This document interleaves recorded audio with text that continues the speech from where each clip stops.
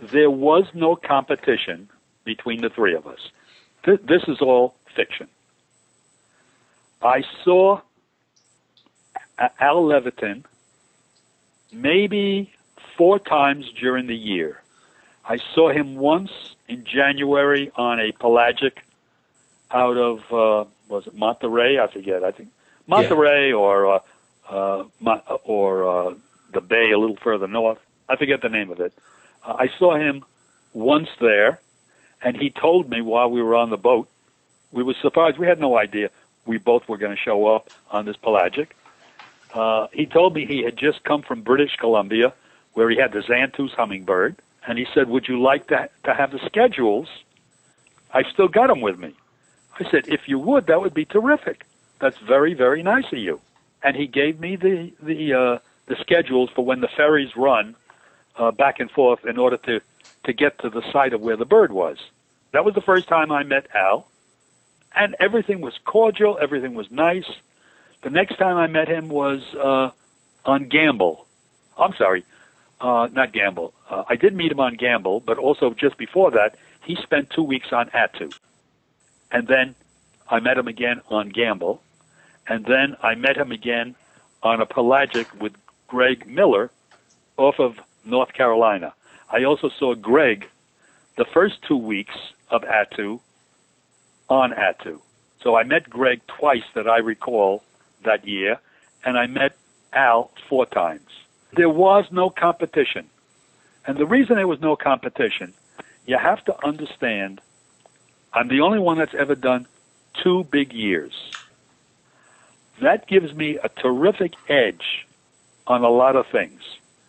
I had spent, uh, you know, 11 years earlier learning the mistakes of doing a big year because most people really don't plan it out well. And they really don't know how to plan for it. It's a marathon.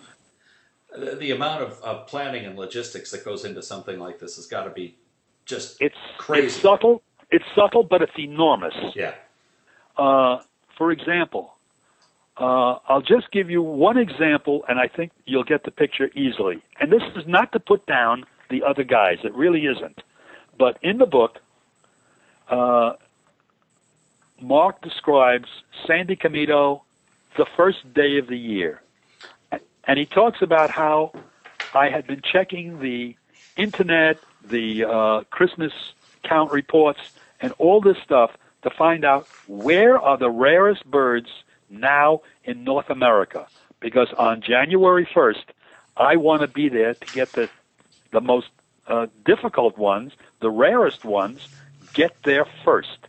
See them, get out of town, go to the next one. Turned out, January 1st of, nine, of 98, there were five pretty rare birds in southeast Arizona. There was no, no doubt in my mind I was going to go there. Now, one of them was Nutting's flycatcher. There were two previous North American records for it. A very tough flycatcher to identify. It, there are subtle differences between that and uh, there's ash throated and brown crested, and they're all sort of similar, and they're found in the wintertime sometimes in southeast Arizona. So I had gone in mid December of 97 when I first heard the report. I saw the Nuttings flycatcher. I now studied the bird the best I could to make sure if I saw it again, I would know it and I hoped that some storm in the north would not blow the bird back to Mexico before the new year started. And so here, are, here am I in Arizona. Sure enough, I got like 20, 20 odd people all beating the bushes, and we find the bird. And I photograph it. I'm a happy camper, but I don't spend much time there. I'm off to chase some other birds. I give you this long winded story because Mark writes in the book, January 1st, Al Levantin. Al Levantin lives in a mansion in Snowmass, Colorado. But what he does, he spends that first day birding locally. Deep down inside, I scream, What the hell is wrong with you? You can't afford to lose that day. You should have your ass out there where the rarest birds are. We should have run into each other constantly. I knew just by the first day he had no chance. Greg did more or less the same. And Right. many birders, I shouldn't say many, those who've tried big years, some of them haven't learned how important every day is. In my big year in 98, I spent 270 days away from home in the field. That's a solid nine months. Well, and you know, I don't, I don't know that it, it's so much that they don't understand how important every day is. I just, They don't. I don't know that they have the, the maybe the tenacity and the fortitude that you do to actually do it. Well, now that's another thing. Remember, you're training for a marathon. Uh, every day that I'm in the field, I'm up before dawn. I'm in the field the entire day, although in the late afternoons, I may use that as time to drive from point A to point B to be ready for either if I'm going to do owling that night or the next place that I want to be at. So I'll be there bright and early in the morning when the birds are voc- vocalizing, and I can put maximum time in the field. Not a lot of guys can do that. It really takes endurance, it takes stamina, it takes pacing, and maybe most of all, it takes focus. A lot of guys don't have it. For example, I've talked to hundreds of people that I that I've said, "Here is my experience." I said, "You want to chase a rare bird? You hear about a something or other? Is in the Rio Grande Valley. You get to Texas, you rent your car.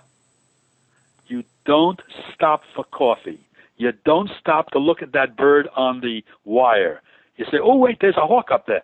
Keep going. After you got your bird, then you can enjoy your stopping and schmoozing Yeah. and bullshitting with people and uh, high fiving and saying, ah, we got the wonderful bird. I can't tell you how many times I've been at the site of a rare bird sighting, and it, I may be there with two people, ten people, twenty people. We see the bird. We're watching it for five, ten minutes. It disappears in the underbrush, and we don't see it anymore. Now a car or two pulls up. Is the bird still here? Well, it was here about five, ten minutes ago. It just disappeared in the in the shrubbery. The bird never shows up again. And invariably, I've heard one say, "You know, if we hadn't stopped for whatever, we could have had it." And all it does is reinforce my belief: you don't stop for anything. Yeah, it takes some discipline. Well, yeah, it does, and it, it it takes endurance. Not a lot of people today. I couldn't do an, another big year. I'm too damn old, and I couldn't. I couldn't handle uh, the regime of getting up. I, I still get up every, early every morning, but I couldn't take the entire long day. Sometimes the big hikes. I don't think I could do the Colima Warbler hike anymore. It's a killer. I don't think I could do a, a number of uh, different walks.